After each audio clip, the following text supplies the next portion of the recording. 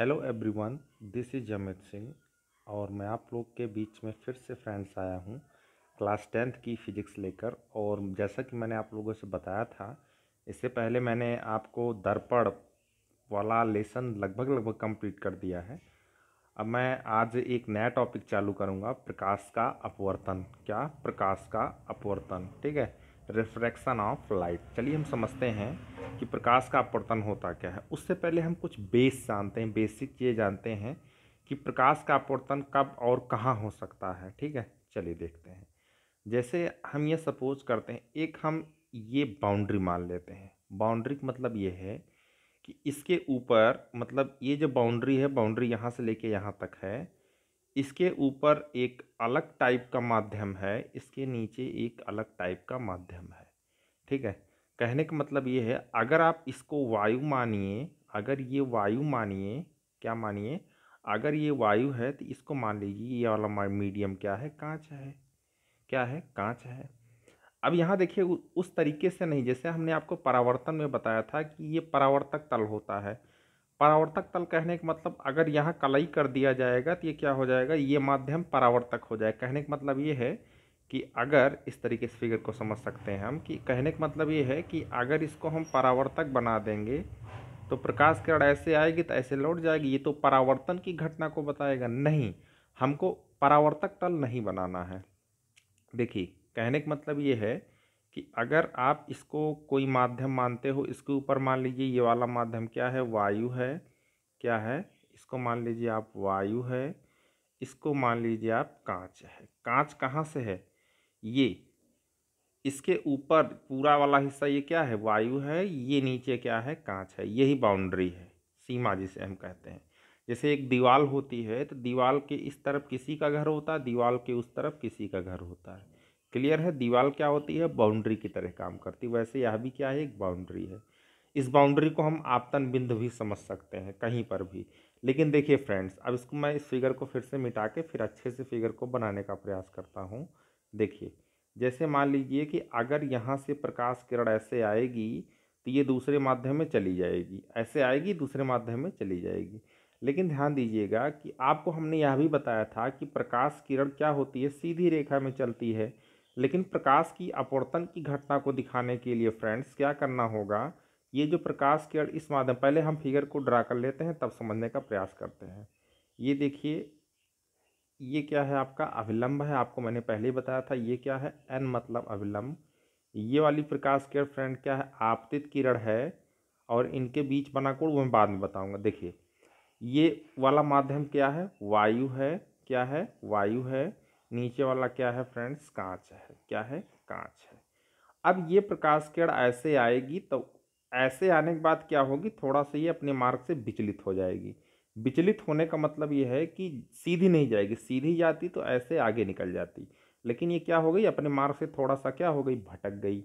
अब देखिए, यही घटना जो कहलाती है, इसको हम क्या कहते हैं? प्रकाश का अपवर्तन कहते हैं। कैसे इसको समझ सकते हो? डिफिनेशन के रूप में कैसे कहोगे कि जब कोई प्रकाश किरण एक माध्यम से दूसरे माध्यम डिफिनेशन सुनिएगा। प्रकाश के अपवर्तन की परिभाषा आप नोट भी कर सकते हो कि जब कोई प्रकाश की किरण एक माध्यम से दूसरे माध्यम में जाती है तो अपने मार्ग से विचलित होने की घटना को क्या कहते हैं? उस, अपने मार्ग से विचलित होने की घटना को क्या कहते हैं? विचलित मतलब भटकने की या मुड़ने की, जो भी आप समझ सकते हो, प्रकाश का अपवर्तन कहते हैं। चलिए।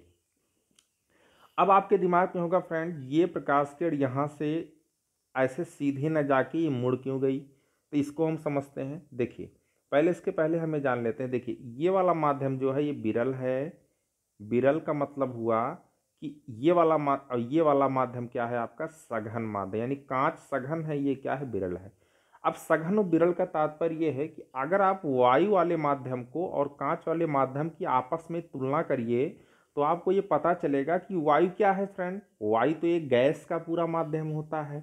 और कांच क्या होता है? ठोस होता है। कहने का मतलब ये है कि कांच के कांच के जो अणु होंगे, वो वायु की तुलना में मतलब वायु में जो अणु होंगे, उनसे क्या होंगे? काफ़ी पास पास होंगे। कहने का मतलब ये है कि इस तरीके से आप समझिए कि फिगर को मैं मिटा दे रहा हूँ। देखिए, इस तरीके से समझिए कि अगर ये आपका, ये वाला नीचे वाला कांच का माध्यम है तो इसके अणु कुछ यूँ होंगे। इस तरीके से क्या होंगे फ्रेंड्स इस तरीके से इस कांच के अणु हो सकते हैं। काफ़ी पास पास आप कौन दिख रहे हैं। लेकिन अगर वायु के बारे में हम बात करें तो एक अणु कहीं यहाँ, एक अणु मतलब गैपिंग क्या होगी? अणुओं की ज़्यादा होगी। तो जब प्रकाश किरण यहाँ से गुजरेगा तो भीड़ कम है।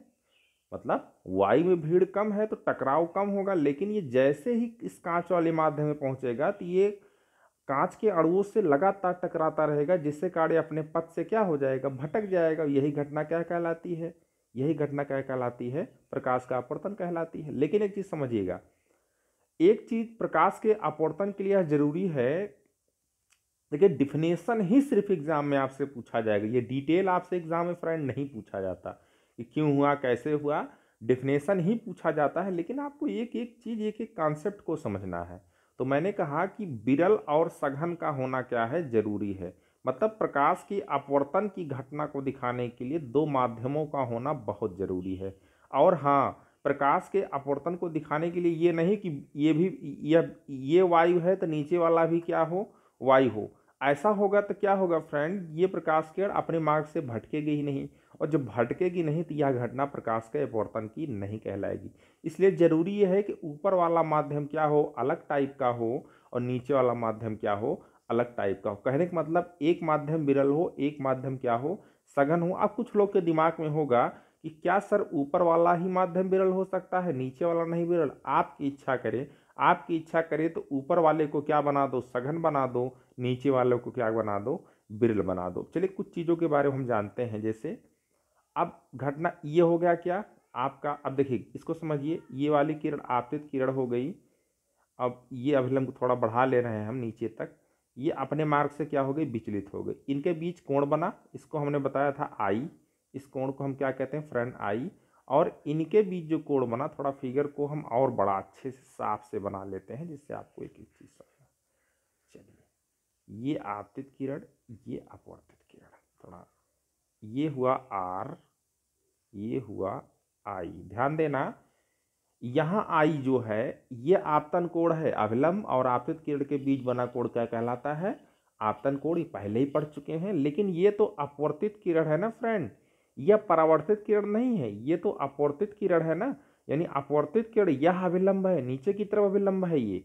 ठीक है, दूसरे माध्यम में बना अभिलंब, ये पहले माध्यम में बना, दो माध्यम हो गए, एक बिरल एक क्या? सघन, पहला और दूसरा माध्यम, इसको इंडिकेट कर सकते हो। तो ये अभिलंब और आप अपवर्तित किरण के बीच बना कोण क्या कहलाता है? अपवर्तन कोण कहलाता है। ये तो आप जान ही रहे हो आपतन बिंदु है, ठीक है? अब ध्यान दीजिए, इसको हमने कहा बिरल इसको हमने कहा क्या? सघन। एक चीज़ और जानिए। अब इस तरीके से भी हम परिभाषा बता सकते हैं कि अगर कोई प्रकाश किरण विरल माध्यम से सघन माध्यम में जाती है तो अभिलंब की तरफ़ क्या होती है? झुक जाती है। देखिए, झुकी है कि नहीं? अगर न झुकती तो ये सीधे ऐसे इसका रियल पथ क्या था? ऐसे सीधे निकल जाती है लेकिन सीधे निकल थोड़ा सा अपने पथ से क्या हो गई? भटक गई और भटकने के साथ क्या हुई? अभिलंब की तरफ़ झुक गई।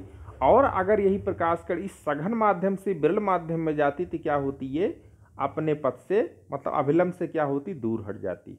तो आप ऐसे बता सकते हो कि जब कोई प्रकाश कर बिरल माध्यम से, सघन माध्यम में जाती है तो अविलंब की तरफ़ झुकने की घटना को क्या कहते हैं? प्रकाश का अपवर्तन कहते हैं। या प्रकाश किरण सघन माध्यम से विरल माध्यम में जाती है तो अपने मार्ग से दूर या ऐसे कह सकते हो, अविलंब से दूर हटने की प्रक्रिया को हम प्रकाश का अपवर्तन कहते हैं। लेकिन फ्रेंड, वही एक्चुअल परिभाषा आप याद रखिए कि जब कोई प्रकाश किरण एक माध्यम से दूसरे माध्यम में जाती है तो अपने मार्ग से विचलित होने की घटना को हम क्या कहते हैं?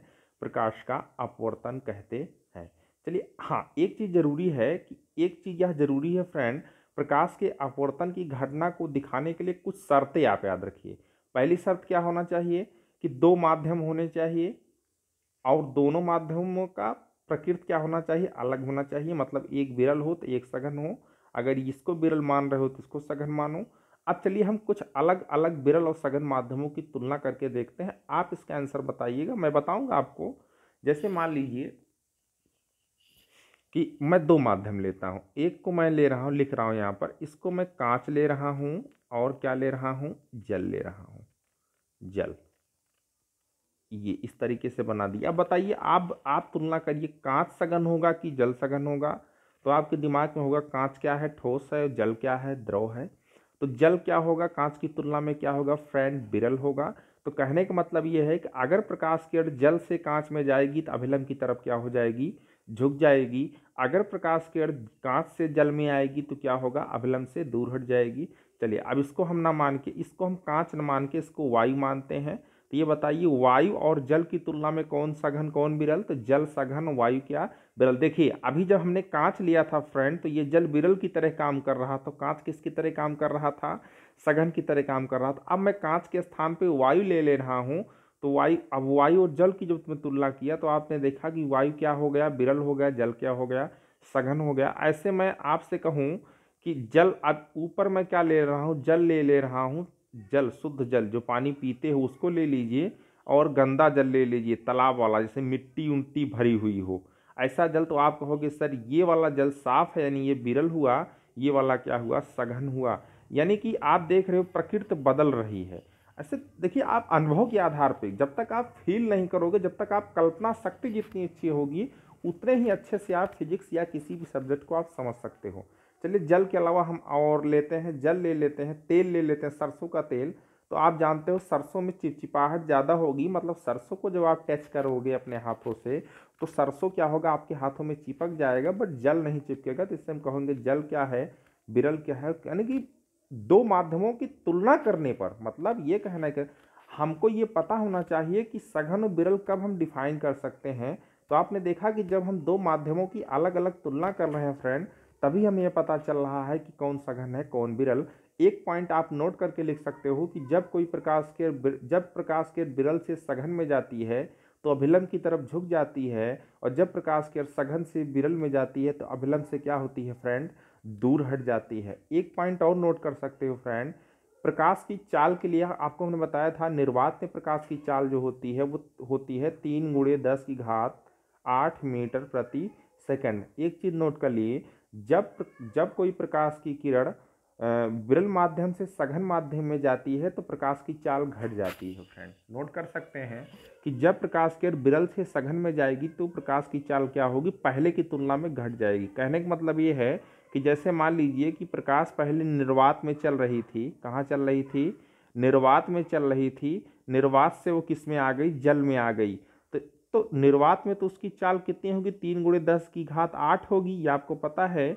लेकिन जैसे ही यह यह प्रकाश वाटर में इंटर करेगी, इसकी चाल क्या होगी? तीन गुड़े दस घात आठ से कम हो जाएगी। कितनी कम होगी? ये तो जब हम न्यूमेरिकल पढ़ेंगे तो आपको खुद ब खुद पता चल जाएगा। क्लियर है? इतना आपको समझ में आ गया? चलिए, बहुत बढ़िया। अब आप कमेंट बॉक्स में इसका आंसर दीजिए। चलिए, हमने शायद बताया भी था इसके बारे में काफ़ी डिटेल में, और हमने बताया भी था कि आपको कि मैं प्रकाश का अपवर्तन जब पढ़ाऊँगा तो आपको काफ़ी कुछ क्लियर होगा। यहाँ तक आपको समझ आ गया। अब मैं सीखा, अब हम सीखते हैं प्रकाश का परावर प्रकाश के अपवर्तन के नियम। हमने वहाँ दो नियम प्रकाश के परावर्तन के पढ़े थे, यहाँ भी हम दो नियम पढ़ेंगे। ध्यान से समझिएगा, प्रकाश के अपवर्तन के दो नियम क्या हैं? पहला नियम क्या है? पहला नियम सेम बेटा वही है जो उसमें था। आपतित किरण, अपवर्तित किरण। अब वहाँ परावर्तित था, यहाँ अपवर्तित होगा। आपतित किरण, अपवर्तित किरण तथा आपतन बिंदु पर अविलंब तीनों एक ही तल में होते हैं, जैसे उसमें था। वहाँ परावर्तित किरण वर्ड यूज़ किया था, यहाँ पर हमने अपवर्तित किरण कर लिया। फिर से बता दे रहा हूँ, आपतित किरण, अपवर्तित किरण तथा आपतन बिंदु पर अविलंब तीनों क्या होते हैं? एक ही तल में होते हैं। दूसरे नियम को समझने से पहले थोड़ी सी चीज़ हम फिगर को समझ लेते हैं। ये देखिए, अगर ये क्या है आपका आई आपतन कोण है और ये प्रकाश किरण गई तो ये अपवर्तन कोण है तो इसमें क्या होता है कि किन्हीं दो माध्यमों के लिए, दूसरे नियम को आप ध्यान समझना, किन्हीं दो माध्यमों के लिए आपतन कोण की ज्या आपतन कोण की ज्या ज्या ज्या मतलब साइन, हिंदी में ज्या कहते हैं फ्रेंड आधा ज्या या या पे आक मात्रा। आपतन को कैसे बताओगे? नियम को लिख भी सकते हो। किन्हीं दो माध्यमों के लिए फ्रेंड्स किन्हीं दो माध्यमों के लिए आपतन कोण की ज्या तथा अपवर्तन कोण की ज्या का अनुपात एक नियतांक होता है तो आपतन कोण की ज्या मतलब साइन आई क्या? साइन आई अनुपात मतलब बटे मिलेंगे साइन आर कह रहा, इसका अनुपात किसके बराबर होता है? एक नियतांक होता, नियतांक मतलब कांस्टेंट सी ले सकते हो या हिंदी में भी लिख सकते हो। अब देखिए ज़रा ध्यान से, इस साइन आई बटे साइन साइन आई बटे साइन आर को फ्रेंड साइन आर बराबर हम लिखते हैं वन एन टू ध्यान देना यन के नीचे थोड़ा वन लिखना, उसके बाद यन लिखना, यहाँ क्या लिखना? टू, यही सी मतलब ये जो सी है, इसी की, इसी के स्थान पे हम इसको भी लिख सकते हैं, दोनों सही है आपका। चाहे आप इसको याद रखिए, चाहे आप इसको याद रखिए, इस वन एन टू, ये one N two, one N two कैसे लिखा जाएगा? वन लिखो, फिर ऊपर थोड़ा यन लिखो, फिर नीचे क्या लिखो? टू लिखो। अब इसको पढ़ते क्या है? पढ़ने का तरीका मैं इसको मिटा सकते हैं, मैं पढ़ने का तरीका। यहाँ आप लिख सकते हो, यहाँ यहाँ यहाँ, वन एंड टू एक नियतांक है, एक नियतांक है जिसे हम जिसे हम पढ़ते क्या है? जिसे हम विरल माध्यम के सापेक्ष, विरल माध्यम के सापेक्ष सघन माध्यम का अपवर्तनांक कहते हैं। जिसे हम विरल माध्यम के सापेक्ष सघन माध्यम का क्या कहते हैं? अपवर्तनांक कहते हैं। ठीक है? चलिए, ये अपवर्तनांक फ्रेंड्स, एक नाम है, इसकी डेफिनेशन मैं अगले वीडियो में दूँगा। खूब अच्छे से क्या होता है इसका मतलब। इतना जान लीजिए, इसको हम पहले, ये वन मतलब यहाँ वन का मतलब पहला माध्यम और टू का मतलब क्या? दूसरा। अगर देखो देखो, पढ़ने का तरीका समझो। यहाँ हमने लिखा क्या? वन लिखा एन लिखा, क्या लिखा? टू अगर प्रकाश किरण वायु से कांच में जा रही है तो वायु का अंग्रेज़ी क्या होती है? एयर होता है। एयर का पहला अक्षर क्या होगा? ए ए और कांच की अंग्रेज़ी क्या होती है? जी तो इसको हम लिखेंगे A N G A N G ए नीचे एन ऊपर जी ठीक है? या ऐसे लिख सकते हो ए ए सा ए जी सामने लिख लो, ऊपर थोड़ा बीच में क्या कर दो एन कर दो। तो ए एन जी हमने अच्छा वन एन टू को क्या पढ़े थे आप? पहले माध्यम के सापेक्ष, दूसरे माध्यम का अपवर्तनांक तो ए एन जी को क्या पढ़ोगे? वायु के सापेक्ष, कांच का अपवर्तनांक अगर यहीं लिखा हो डब्लू एन जी तो डब्लू मतलब वाटर तो वाटर मतलब जल तो जल के सापेक्ष किसका अपवर्तनांक कांच का अपवर्तनांक अगर यहीं लिखा हो क्या? अगर यहीं लिखा हो आपका जी ऐसे लिखा हो। अगर यहाँ लिखा हो जी एन ए तो इसको क्या पढ़ोगे आप? कांच के सापेक्ष वायु का अपवर्तनांक अगर यहीं लिखा हो डब्लू एन ए तो ए मतलब वायु, कांच के सापेक्ष किसका अपवर्तनांक वायु का अपवर्तनांक तो पढ़ने का तरीका आप जान गए? ठीक है। और ध्यान दीजिएगा, ये दूसरा नियम है, इसको बहुत इंपॉर्टेंट भी है नोट कर लेना कहीं पर। मतलब आपतन कोण की जा तथा अपवर्तन कोण की जा का अनुपात एक नियतांक होता है, अर्थात साइन आई बटे साइन आर बराबर नियतांक, अथवा करके लिख सकते हो साइन आई बटे साइन आर बराबर वन एंड टू इस दूसरे नियम को फ्रेंड हम स्नेल के नियम से भी जानते हैं। ये बहुत फ़ेमस है। कभी कभी एक नंबर में डायरेक्ट दे देगा आपको। स्नेल का नियम बताइए। तो यही जो प्रकाश के अपवर्तन का दूसरा नियम है फ्रेंड इसी स्टेटमेंट को आप एग्ज़ाम में डायरेक्ट लिख देना। आपको और कुछ लिखने की ज़रूरत नहीं है। पूछा गया स्नेल का नियम किससे कहते हैं? तो सीधे लिखिए, किन्हीं दो माध्यमों के लिए आपतन कोण की ज्या तथा अपवर्तन कोण की ज्या का अनुपात क्या होता है? एक नियतांक होता है। आई होप आपको इतना समझ में आया होगा। चलिए ठीक है, अब मैं इस वीडियो को एंड करता हूँ क्योंकि काफ़ी लंबा वीडियो हो गया है। आप इसको अच्छे से देखिएगा। अगले लेक्चर में मैं फिर से मिलूँगा। कुछ नए टॉपिक के साथ। Thank you bye bye ciao ciao और मेरे चैनल को सब्सक्राइब कीजिए शेयर कीजिए लाइक